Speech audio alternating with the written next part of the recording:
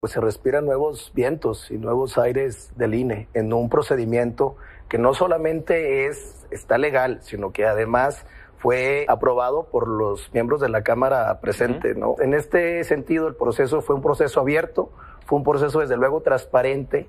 Y Guadalupe Tadei, como lo anunció en su declaración de apertura como presidenta del INE, pues desde luego está lista para iniciar una discusión donde reconoce el reclamo de los ciudadanos por abaratar los procesos electorales que en México son tan caros, sin comprometer, desde luego, la calidad de las elecciones. El hecho de tener y de reconocer esta necesidad, este reclamo de los mexicanos de entrada, este, reconocerle, felicitarla a ella y desde luego este, esperar de que vengan muchas cosas. Invitó a todos los partidos políticos a sentarse, a concertar y juntos a ver un nuevo país, se vecinan nuevos vientos.